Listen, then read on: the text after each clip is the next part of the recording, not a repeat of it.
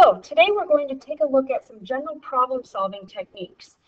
Uh, for this lesson, you're going to want to use the note sheet that you received from me to kind of guide you through the problems that we're going to do so you don't have to write quite as much. You're also going to want a calculator and of course something to write with. The key to story problems is to not fear them. We can attack any story problem if we have an okay plan as to how we're going to go about it. Many times plans might include drawing a picture, especially if it's a visual or geometric sort of story problem. You may write a verbal model, so writing it out in words, you know, abbreviated, what happens and how are things calculated. Starting with a verbal model is very useful. Then you can convert that verbal model to an algebraic model if you need to.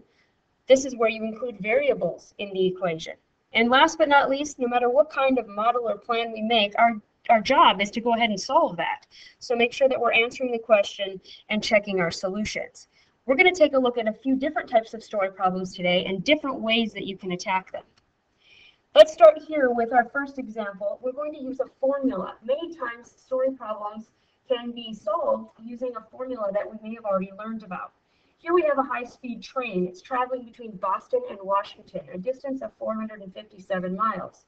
The trip takes 6.5 hours. What is its average speed? So if you think back to what you may already know, you've learned about a formula that you can use to calculate distance traveled. Distance equals rate times time. And if we remember this formula, we can use it in this situation. We can plug in 457 for the distance, 6.5 hours for the time, and go ahead and solve that equation. This is 457 equals r times 6.5. So if we divide both sides by 6.5 to solve for r, we find out that our answer is 70.3. That means the average speed is about 70.3 miles per hour. It was asking us for the rate. Let's take a look at another one similar to that. This one's about a jet, so it's involving aviation. But a jet flies at an average speed of 540 miles per hour. How long will it take to fly from New York to Tokyo, a distance of 6,760 miles? Well, if we do a similar sort of setup using the same formula, since we're talking about speed, distance, rate, time, so we're going to set up distance equals rate times time and plug in what we already know. We know the distance is 6,760 miles. We know the rate is 540, but I don't know the time, so I'm just going to keep t as my variable here. And then once again, to solve for t, I'm going to divide And if I go ahead and calculate 6,760 divided by 540, we find out that the answer is about 12 and a half hours. Let's take another, a look at another example where we look at a pattern. So this one's a little bit different. A formula, not very, very helpful, but taking a look at a pattern uh, in information or in data will help us figure out how to predict what's going to happen. We have a paramotor is a parachute propelled by a fan-like motor. And the table shows the height of this paramotorist t minutes after beginning a descent. So they're going down. Find the height of the paramotorist after seven minutes. If we take a look at this table, there are some important things we should notice. First of all, it appears that at time zero, so this is the very beginning before any descent has started, there was a height of 2,000. This is his initial height. We should also take a look at how the pattern in the table is changing. The thing that would be changing is, of course, time as well as height. This paramotorist is decreasing as he comes down out of the sky, and we want to take a look at how much he is decreasing by. So if we use that information and we look at a pattern, we can see that the height decreases by 250 feet per minute.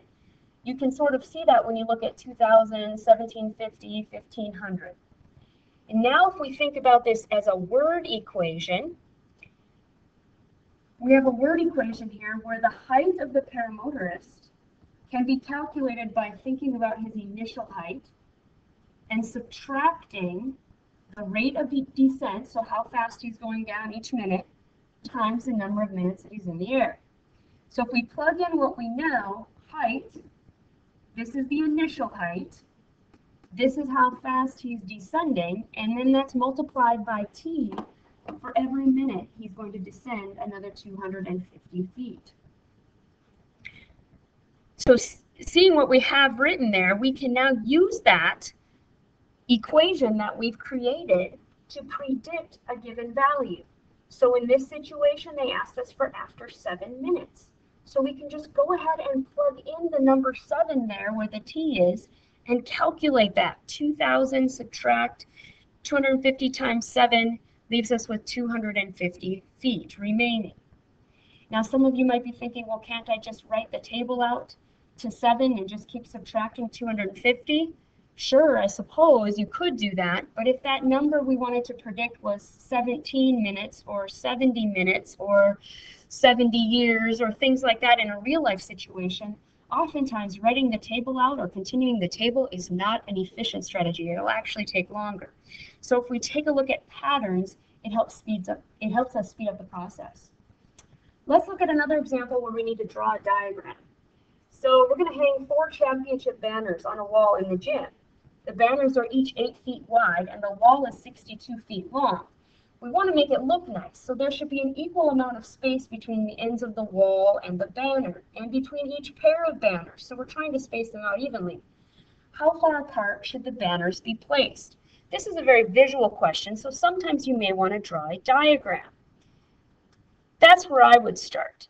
If we have 62 feet of space on our wall, you can see that in my diagram here, and we know each banner is 8 feet in width, and we know these spaces all have to be the same amount in between the banner, but I just don't know how much those need to be. That's my X. That's what I'm trying to find.